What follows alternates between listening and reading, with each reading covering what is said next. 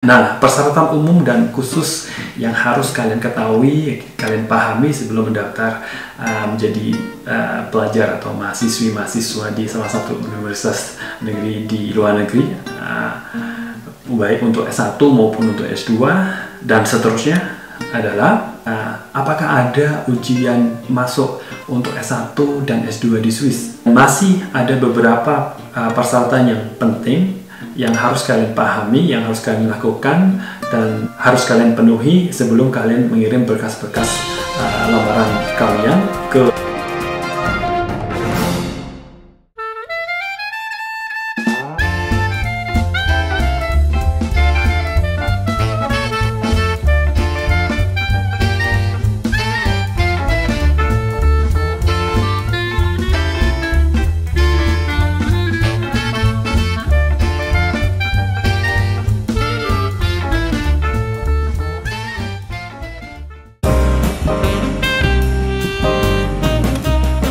Hai semuanya, masih bersama saya Didi Rojavani. Semoga kalian baik-baik saja meski situasi dan kondisi saat ini tidak menentu. You know we all fight against COVID-19. Uh, tetap belajar dari rumah bagi kalian yang ingin melanjutkan studi ke university atau ke universitas baik di dalam maupun luar negeri. Di video kali ini saya ingin berbagi uh, informasi yang sangat penting dengan kalian terkait beberapa persyaratan yang kalian harus lakukan, kalian harus pahami ya sebelum kalian mendaftar sebagai calon pelajar uh, di universitas di luar negeri ya. Dan bagi kalian yang ingin melanjutkan studi kalian di salah satu universitas negeri di Swiss, kalian harus tonton terus video ini sampai selesai. Oke? Okay?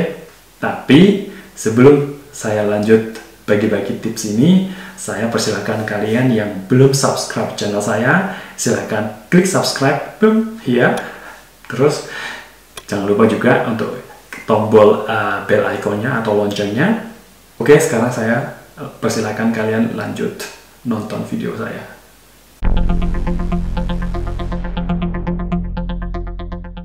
Perlu kalian ketahui juga bahwa kualitas universitas di Indonesia baik swasta maupun kualitas uh, perguruan tinggi uh, negeri di Indonesia itu tidak kalah bagusnya loh dengan uh, kualitas universitas yang ada di luar negeri. Tapi uh, karena beberapa alasan ya, alasan pribadi, uh, sebagian daripada kalian ini ingin melanjutkan studi di luar negeri baik uh, dengan biaya sendiri maupun melalui uh, jalur beasiswa, biasa beasiswa instansi maupun beasiswa dari pemerintah. Nah, persyaratan umum dan khusus yang harus kalian ketahui, kalian pahami sebelum mendaftar uh, menjadi uh, pelajar atau mahasiswi-mahasiswa di salah satu universitas negeri di luar negeri, uh, baik untuk S1 maupun untuk S2 dan seterusnya adalah yang pertama ijazah SMA dan ijazah uh, uh, S1 jasa SMA bagi um, kalian yang ingin melanjutkan studi ke universitas di luar negeri untuk S1 dan ijazah S2 uh, ijazah S1 untuk uh, melanjutkan ke jenjang S2 dan seterusnya. Baik, untuk lulusan SMA dan S1 uh, yang mana sistem pembelajarannya menggunakan bahasa Indonesia dan Eh, juga ijazah serta transkrip nilainya tertulis dengan bahasa Indonesia, maka kalian wajib menerjemahkannya ke dalam uh, misalkan bahasa Inggris atau ke dalam bahasa uh, pengantar yang akan dipakai oleh universitas di mana kalian akan belajar. Uh, contohnya, uh, kalian ingin menjadi uh, pelajar di salah satu universitas di Swiss.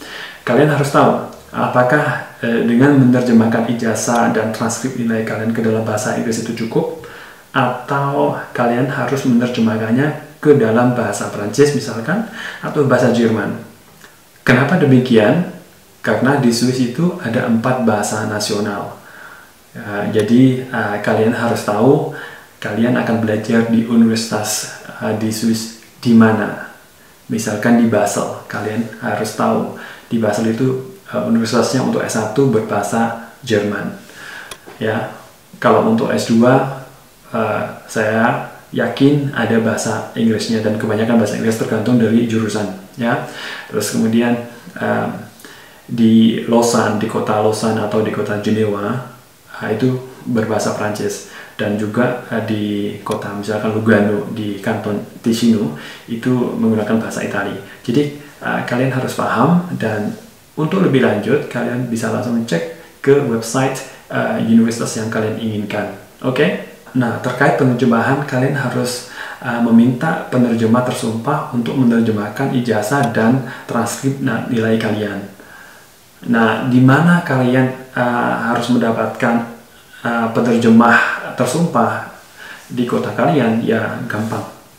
Kalian Google, uh, ya, di mana ada penerjemah tersumpah di kota kalian, tapi biasanya ya penerjemah tersumpah ini sudah ada di eh, kota-kota besar seperti di kota saya Surabaya maupun di kota besar lainnya seperti Jakarta. Ya. Nah, khusus lulusan S1 dari universitas di Indonesia ya.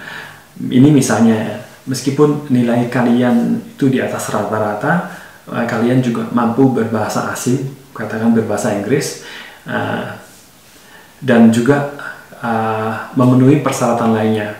Tapi uh, kalian tidak bisa uh, dianggap layak uh, untuk melanjutkan studi kalian di uh, universitas di luar negeri. Pertanyaannya, kenapa bisa demikian? Nah, jawabannya saya kasih tahu bahwa uh, kalian pasti uh, kalian harus paham bahwa uh, universitas yang kalian inginkan itu mempunyai otoritas penuh ya, menent ya untuk menentukan ya atau menyatakan layak tidaknya uh, calon pelajar di universitas yang uh, mereka kelola. Jadi uh, bisa jadi ya uh, ijazah S1 yang kalian dapatkan dari universitas di Indonesia itu kesetaraannya belum diakui oleh pihak universitas yang kalian inginkan. Oke, okay? jadi uh, tetap uh, semangat, jangan patah uh, semangat karena kalian juga bisa melanjutkan S2 kalian di universitas di Indonesia. Oke? Okay? Nah, mungkin ada dari kalian yang mempertanyakan uh, apakah ada ujian masuk untuk S1 dan S2 di Swiss? Jawabannya bisa ada, bisa tidak ada. Tapi khususnya untuk S1 ya biasanya itu uh, universitas memberikan ujian masuk bagi calon pelajar yang dianggap masih kurang memenuhi persyaratan. Uh, ujian masuknya itu meliputi akuntansi, bisnis tadi, matematika, dan bahasa Inggris. Ya, terus uh, untuk S2 itu saya kurang tahu apakah ada ujian masuk, tapi dari pengalaman saya tidak ada hanya saja ya ada matrikulasi.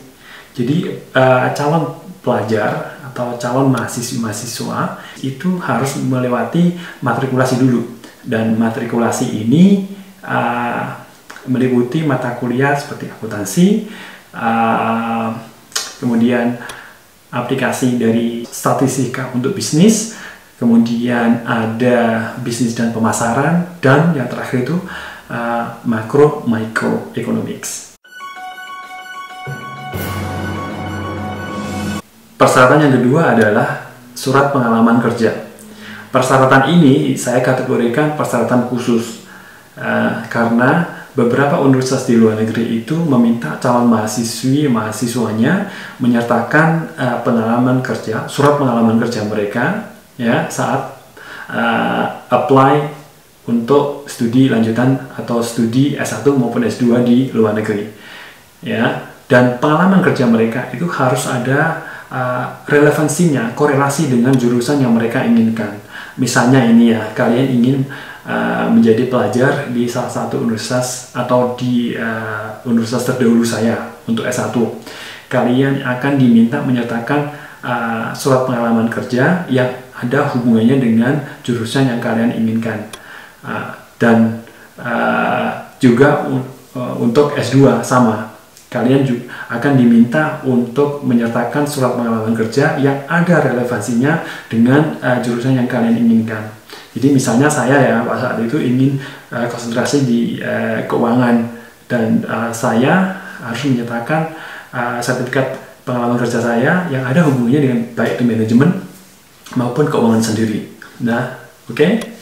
Nah, mungkin kalian bertanya juga berapa tahun pengalaman kerja yang di, harus dimiliki oleh calon uh, mahasiswa. Nah, untuk ini uh, saya bisa kasih informasi yang uh, based on the fact ya. Uh, untuk S1 minimal satu tahun dan untuk S2 minimal dua tahun. Tapi untuk lebih lanjut informasinya kalian bisa langsung cek ke uh, university terdahulu saya uh, di uh, Orton atau di Basel. Uh, jadi kalian bisa tahu informasinya lebih lanjut. Nah, saya lanjut untuk persyaratan yang ketiga adalah kemampuan bahasa asing. Persyaratan ini umum, tapi sifatnya sangat krusial karena kemampuan kalian dalam uh, menguasai bahasa asing itu harus dibuktikan dengan sertifikat yang diakui secara internasional seperti TOEFL, IELTS, uh, DELF atau DALF uh, untuk apa namanya universitas yang berada di daerah atau di kanton berbahasa Prancis. Nah, pertanyaannya adalah berapa minimal skor untuk IELTS atau TOEFL Ah, jadi berapa minimal skor untuk IELTS dan TOEFL uh, yang dibutuhkan, yang disyaratkan oleh universitas di Swiss misalkan gitu.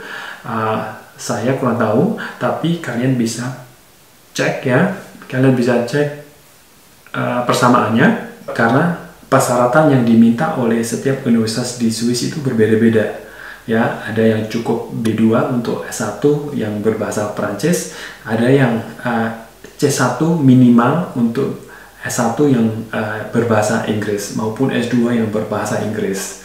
Bagi yang tahunya hanya TOEFL uh, atau IELTS, ini pasti akan bertanya-tanya apa itu uh, uh, level bahasa asing B2, C1 gitu.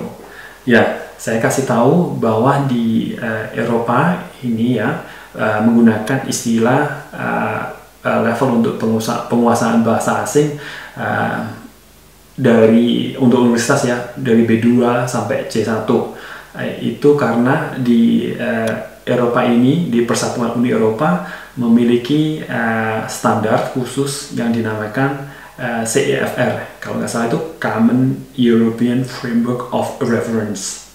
Jadi uh, mereka menggunakan uh, istilah uh, penguasaan bahasa ini dengan level masing-masing untuk masuk ke universitas. Jadi minimal kalau um, ingin masuk ke universitas di di Swiss misalkan gitu untuk S1 yang berbahasa Prancis itu minimal B2. Ya. Kalau yang berbahasa Inggris itu di tempat saya misalkan dulu ya di universitas saya uh, waktu saya ingin uh, melanjutkan studi S1 saya itu minimal C1. Tapi karena saat itu saya memiliki apa namanya uh, sertifikat dari uh, University of Cambridge uh, bahasa Inggris saya itu uh, C1 jadi saya tidak harus uh, lagi menunjukkan TOEFL atau tes sejenis lainnya. Nah itu tadi adalah persyaratan yang ketiga yaitu kemampuan bahasa uh, dan masih ada beberapa uh, persyaratan yang penting yang harus kalian pahami, yang harus kalian lakukan dan uh, harus kalian penuhi sebelum kalian mengirim berkas-berkas uh, lamaran kalian ke universitas yang uh, kalian inginkan antara lain. Uh, yang keempat persyaratannya adalah GMAT atau sertifikat GRE uh, kemudian uh, yang kelima adalah uh, vitae atau biodata. Yang keenam uh, motivation letter atau uh, surat motivasi. Yang ketujuh adalah uh, fotokopi paspor yang ke-8 itu uh, pas foto ya. Yang ke-9 terakhir itu adalah uh, pembayaran uh, pendaftaran. Poin-poin ini akan saya bahas di bagian yang kedua karena penjelasannya agak lumayan panjang dan ribet. Jadi uh, saya sudahi dulu uh, edisi bagi-bagi tips uh, untuk mengetahui persyaratan umum dan persyaratan khusus untuk masuk ke universitas di luar negeri maupun uh, universitas khususnya di Swiss. Terima kasih kepada kalian yang sudah nonton video bagian uh, pertama edisi persyaratan studi di Universitas di Swiss. Jangan lupa klik subscribe, uh, tekan bell iconnya, komen kalau ada pertanyaan, dan uh, share dengan teman-teman kalian. Uh, stay at home, keep your physical uh, distance towards the others, uh, practice sports at home, uh, get some healthy food, and get yourself rest sufficiently. Saya Didi Rajawane, sampai jumpa lagi. Ciao.